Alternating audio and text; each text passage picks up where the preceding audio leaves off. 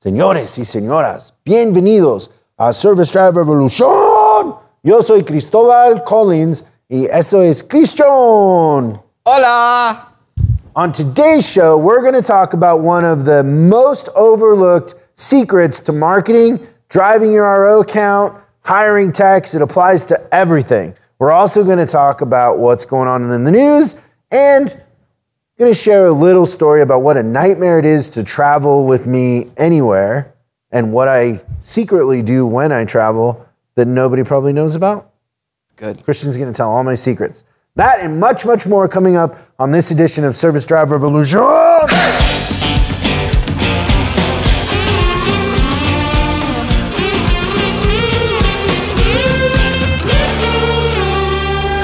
So we just got back from a long, well, I feel like I've been gone.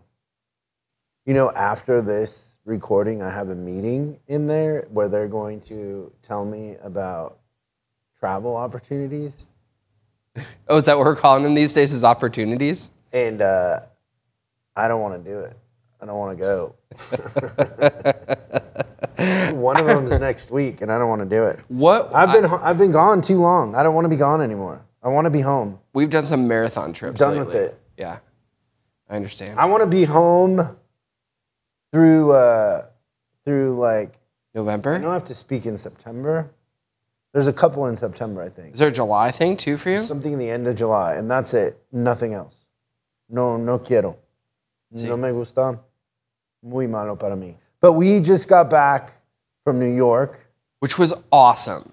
Christian celebrated his birthday in New York. I took him to one of the best dinners he's ever had. He, he didn't say that, but I'm saying that. It was honestly, it was the best birthday celebration I think I've ever had in my life.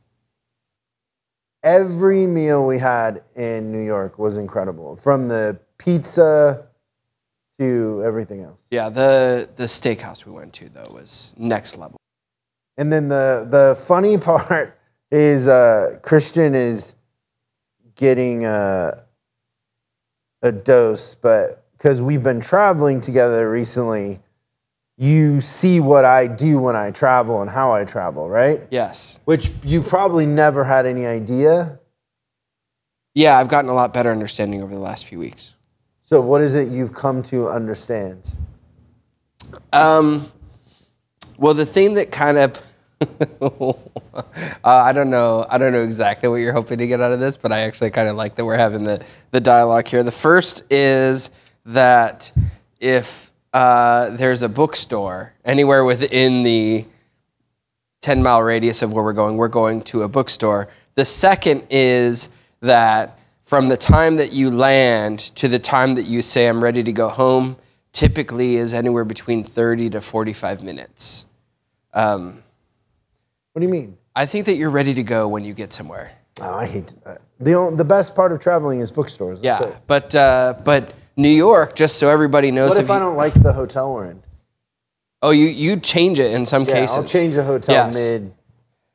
And I would say that Almost. If it wouldn't have been your birthday, so there's this hotel in New York that is in the meatpacking district, and it's a it's getting older now, but it's still a hip hotel. But it's I'd the- still call it trendy. you cannot beat the the location. Yes. You just can't beat the location, but it's it's slid in uh, customer service. The customer service is the worst. Like literally, uh, just checking in is like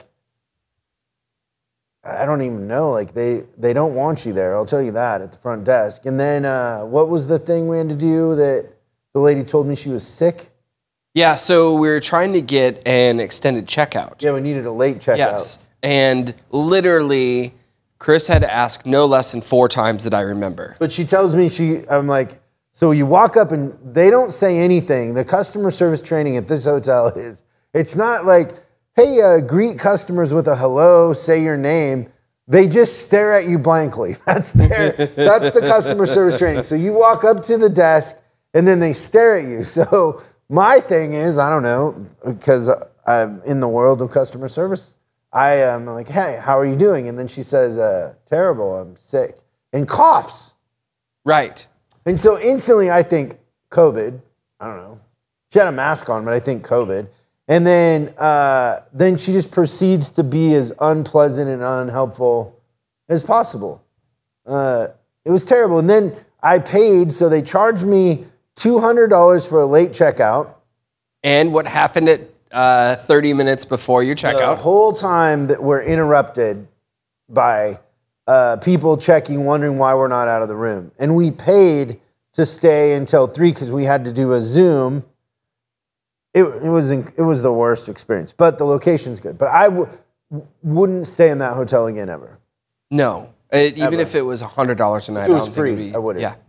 I would stay somewhere else. So I thought you were gonna say how picky I am is what I thought you were gonna say. But the bookstore thing is true. So the first time you experienced the bookstore was in Cincinnati, where I didn't like the hotel and we moved. Which was a huge win for me, just so Yeah, everybody because knows. the hotel was really nice yes. and in a great location. So we move, and then um, I'm like, hey, before dinner, there's a bookstore down the street because you know I'm looking at bookstores before I get anywhere. So then we go to this bookstore, and it's pretty pretty cool, right? This old So bookstore. yeah, and I think that the the purchase that you made, I was a champion of. Like I was encouraging you to, because I thought it was really really cool um, what you bought, and also the interaction with the bookstore owner. Like bookstore owners are really special people, and Yeah. they know they know nothing about marketing. They know uh, little to nothing about like the internet, but they really know like that they have a passion for what they do. And like you met the sweetest man at that bookstore that it was just fun to watch him work. And like you could tell that it was this was his life's labor. And that's the part I think is really special about bookstores is that there's stories within the books and there's Are you stories. talking about the one by Barbados? No, I'm talking about the old guy that you bought in Cincinnati. That you bought the the oh. really cool volume of books. So you you did start to tap out. So I drug everybody to a couple bookstores, Yes. and then on Sunday, you made up some fake thing you had to do.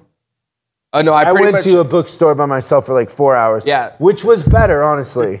Because I don't feel any guilt. I can look at whatever I want to look at. I don't have to worry about where you wandered off to.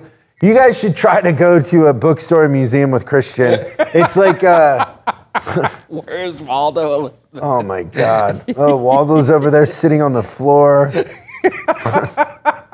It's so great. Oh my gosh. The, the, one of the stores that we went to, um, And you don't, you don't ever think to like say like, hey, I'm going to, I'm going to go up to the first floor. You just, yeah. So I, I'm trying to give you your space and let you have your experience. Like I understand how important it is to you, and my thinking is is that I don't want to be a. I, I don't even want you to you think don't, about thi- me you don't being think there. that I'm aware of where you are and trying to make sure you're having a good time. Yeah, but I would much rather. when you disappear, what does that do? Well, it sh- I I want Create you more or less anxiety for me. probably more, but let's establish this going forward. That anytime you're at a bookstore, you just worry about you. I'll be just fine. I lo- I like to roam a little bit. There's nothing wrong with roaming, but just say like, "Hey, I'm going to go to the next floor, or whatever." But anyways, so Sunday I go to a bookstore all by myself, which I had been looking forward to. Big bookstore, uh, bought a ton of cool stuff. But then we went. I, was it Monday? It was Monday. So we go to the arguably, I think, one of the largest bookstores. How many miles of books? 18 miles of books. And what, what did we? We did the math on this. It was over half a million books. Yeah, half a million miles. books, and most of them are used. And so here's the thing that happens though is like we were there, and I I'm like, okay, well let's go check out their rare and collectible section, and they'd kind of blown that up in a way like they Well, they dismantled the floor. yeah, it was weird. So they were spread all over. But the girl that worked there on that floor said, what you do is just see what you like, but go on our website and order it and we'll ship it. Because I asked, will you ship? You know, because I already couldn't get all the books you I bought one, home. You and had I- one uh, one bag already full with books. Yeah. And so I could have bought another suitcase, which was definitely an option, but that's happened many times. the uh, so then I see this book that I really like, and it's highly collectible. You know, but big. It's a big book. And I go back to the hotel that night and I go on to order the books that I want. None of their rare and collectible stuff is online. Yeah. And so then I told you the next morning, you're like, do you want to go back? But I'd already, you know, we'd already planned on going to a bookstore somewhere else. so, uh, I went to a lot of bookstores. but you find a lot of books that people, the, these bookstores don't have their inventory online a lot of times. So they don't know, they don't know what yeah, they're not familiar with the market. Right. So all. you can pick up some stuff that's highly collectible. I mean, it's a lot like I'm like a used car manager in a way, right? Like I'm always. bit. Yeah, I Looking at liken the it value. to you're in a you're on a treasure hunt. yeah. Is what it looks like to me as I'm kind of observing you and watching you. But I don't know. To me, it's kind of neat. It's it's uh, it's fun to watch what happens. Oh, I'm thinking about getting a dog. you should get a dog. Yeah. So they always say like, uh, I think everybody should have a dog, yeah. I and I think that that's it's been a point of contention. especially your age. Like apparently I travel, and that somehow affects kidding. the animal. And and and so I'm thinking about adopting, right? Because A dog? yeah, adopting a dog. So a rescue? Is that yeah? Uh huh. Yep. You know the difference between a rescue and like a dog that's like bred to win? Like my dogs are bred to win. Like the best breeder. yeah, champion, best show dog, that kind of thing. It's not it's not like you took a poodle and a lab and like put them together in a lab somewhere, Laboratory somewhere. so yes, I recognize the difference between the two, and and so I'm like, okay, I think adoption is the right thing for me because I've really come to. but adoption as in uh, rescue or adoption as in a well-bred champion? probably a rescue, probably way more of the rescue type, right? Because I've accepted that adoption is really my only option because I don't think that I'm capable of having a biological dog. This was to get my hopes up that you were going to get a dog and it was a setup for a joke. So, so the joke That, is that whole thing. joke is I'm really in. thinking for a second I'm giving you advice on getting a dog.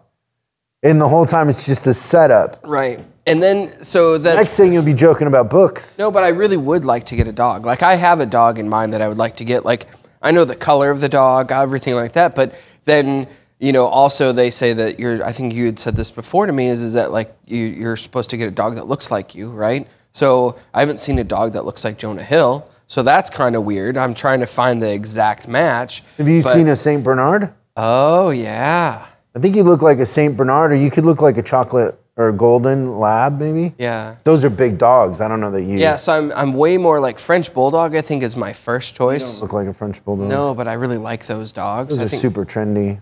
Well, you're not going to find one of those as a rescue Why not? because people don't give them Everybody away. wants one, probably. People steal them. Well, that's Okay, well, we'll uh, put in the comments, everybody, if you're watching this on YouTube. yeah, help me get a dog. What kind and, of dog do you think Christian looks like? And how? And what do you do with a dog when you travel 14 or 15 days a month? Maybe those two things. Yeah, I don't, and I don't want to put a dog into an environment where it's going to be uncomfortable. let's uh, let's do the news, and then we'll get to uh, this fun little Google insight here.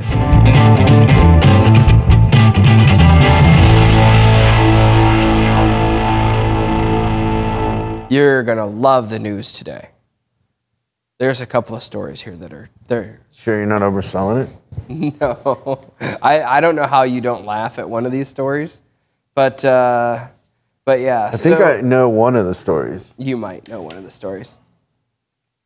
So first, we've got uh, our friends over at Ford recall 2.9 million vehicles that could roll away when placed in park. Why does that sound like something that happened a few years ago with Chrysler? Um, like we didn't learn from that, but yeah, Ford's recalling 2.9 vehicles that million vehicles that might not shift into the correct gear and could move in an unintended direction, which is not good because when you're in park, the vehicle no move. Um, so it has six reports of property damage and four reports of injuries potentially related to the problem. Among the problems, the transmission on the Ford F cars and SUVs may not be in the park position, which is bad. So is it That's a, what killed. is it an uh, actual part replacement or is it an inspect? please hold. But yeah, that was a it was an issue like that with the Jeep that killed Chekov from Star Wars or Star Trek. Yeah, the blank look on your face means that has no reference to you. But uh, but yeah, so it doesn't that say a yeah. joke?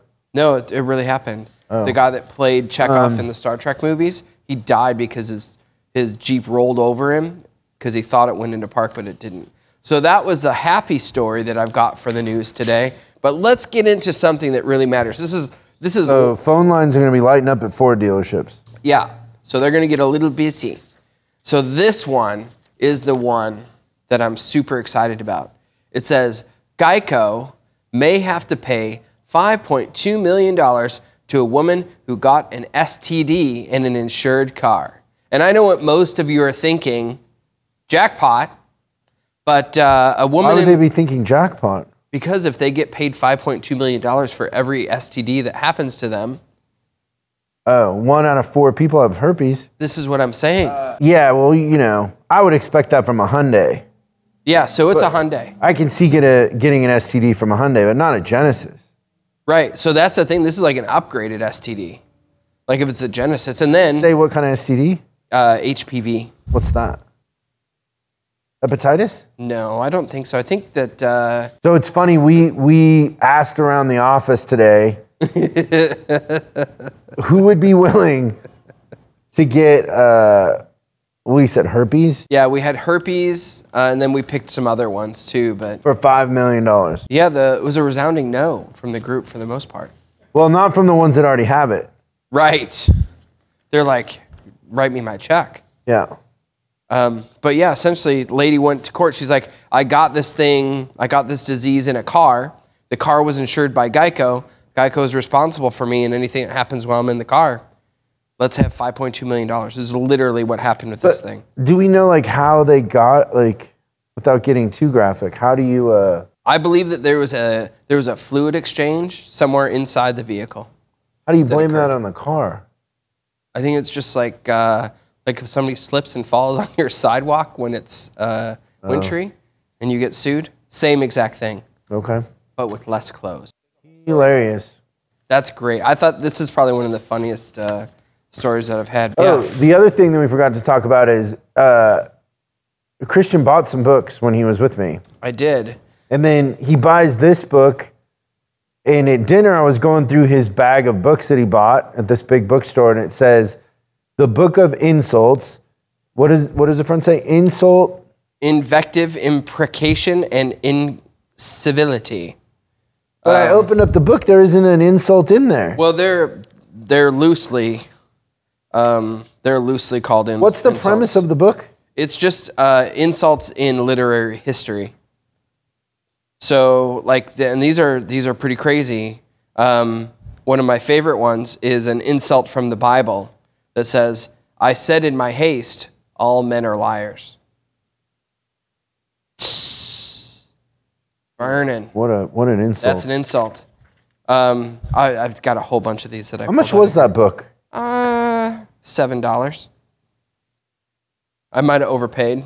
We found in the in the bargain bin. Well, you found in the bargain bin at the same bookstore, uh, Chase Hughes's ellipsis manual, which is a great deal, by the way, if you bought which it. is uh, a hun- worth a hundred times more than this seven dollar book. yes, but it was kind of fun to see Chase's book in like the biggest. Yeah, we saved it. the- We bought it because I give that book away all the time, and I'm paying twenty five bucks every time I give one away. Yep, and um, and just so everyone knows, that was the best insult in the book. You don't throw a book. Yeah, that one. It's just like the news. It's over. You're done with it. Yeah, Okay. Oh, the news is over. There Yeah. not another story. I'll save that one. The news doesn't get better with time. So, so the reason is that's another report About Ford. about Ford and recalls. No, do it. Bad news about Ford. Oh Let's my hear good it. lord. Ford. Ford to stop delivering Mach E models. Recalls look imminent. So they did a stop sale on all the Mach E's uh, built between 2020 and May of last year, or May of this year. Good news for service departments if you're a Ford dealer. Anything coming out of the plant in Mexico Answer those phones. is getting stop sale. 48,924 electric vehicles affected. So I, I think that something we should think about is marketing. And I think when you think about marketing, probably your most effective marketing is online marketing. And most of us don't think that way. No. Also, you're most cost effective at the end of the day. But most people will say, What? I don't have TikTok? I don't do that. I Don't do that. You should probably think about doing it. Yeah, I think that the that's really the technology of the future. Like I know When they say of, I don't do that, I hear I gave up. yeah, for sure. It's like it's like me, and I've really kind of not wanted to do the online shopping thing, but I've started to kind of look into the Amazon thing, right? So um, the other day I was looking up and I tried to uh, to to buy a lighter, and it sucks. Like I don't know, I just haven't figured Amazon out yet because I I search for a lighter, and you know what comes up? Sixty-four thousand five hundred ninety-six matches.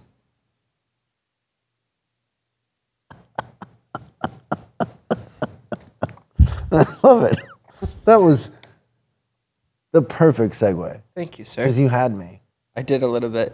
Because I don't take you as an online shopper. Not at all. Although I did just buy uh, buy something online, but it's not normal. The, uh, the point that I would like to make is that this is important Yeah. and the you know it's easy if you want it to be and so for example we will hear uh, i put up an ad for techs I ran an ad. It's a Ran an specific ad. thing. and then you go so let's say uh, let's say i'm talking to a to a fella at a, a audi dealership in anchorage alaska. I'm just making up whatever. So anchorage alaska audi and the guy says i'm the fella says i uh, need techs and i say well what have you done? He says i ran an ad. I go is the ad up right now? Yeah so I go to I go to Google, I open a browser and I go to Google and I, I type in Audi technician. What did I say? Fairbanks? Sure. Anchorage. Anchorage. Anchorage. Anchorage, Alaska. And literally Google crit- crickets chirp. We write an ad. Where does it usually come up? Really close to number one, if not number one, Yeah. Why? because we plan it that way. Yeah. And we're And effective. so what happens if you're just running an ad on Indeed? It's one hit. Well, it's one hit that then you got to pay inside of their website to rank. That could also be true. right? Because you're paying them to post the ad, and then they're saying, well, if you want the ad to come up anywhere, you got to pay us again. Yeah, you got to sponsor it or something like that, right? We can, for free, we can leapfrog all of that and come up at the top because we understand one important thing. And what is that important thing, Christian? If you had to summarize it into two words, Are you ready for these two words? and I just gave you the first one. Yeah. The two words. And this is the point where Chris is a little nervous because he's like, I feel like I've laid the softball up and I don't know if he's going to answer it right or not. The two words, keyword, search. How to do? Keyword. Search. Keyword. I think keyword is one and search is the Me other. too. Depends on how you want to spell it. I want to put a space in between key and word. well, it's got more dramatic effect if you keyword search like that. But we're saying the same thing. Yeah, Semantics aside, we're saying the same thing. that is right. And so we our our marketing team was playing around and they were looking at what are the things that consumers are searching for in relation to service and automotive. How cool is it that they can pull that stuff up? And this is seasonal, right? So this is what people are thinking about right now. This would change throughout the year. Like there would be a time the there'd be a there. time of year where tires would be at the top, especially in certain regions, Mm-hmm. right? There would be a time where batteries would rank, all that. But uh, most, and the reason why I want to go through this list is I just want you to understand that you want to get good at this and you want to understand what consumers are searching for. And now, if I use some of these keywords in anything that I do, it would rank higher than most everything everybody else is doing That is right.